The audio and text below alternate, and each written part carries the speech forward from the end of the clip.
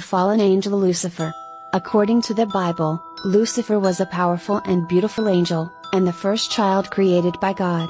He was the beloved Son of God and granted the greatest authority, until one day God created the first two humans, Adam and Eve, and ordered Lucifer to obey their requests.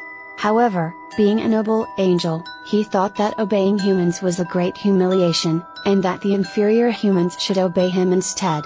Therefore, Lucifer gathered other angels, who also hated to obey humans like him, to start the biggest war in heaven.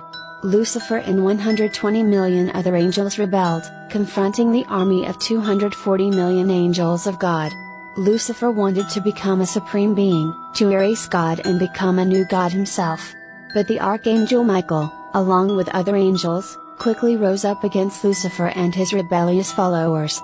After the end of the battle, Lucifer and all the fallen angels were expelled from heaven. Then, Lucifer became the king of hell, with the new name of Satan, the devil. He hated humans, and always tried to tempt them into the path of sin, to prove to God that humans were not worthy of love.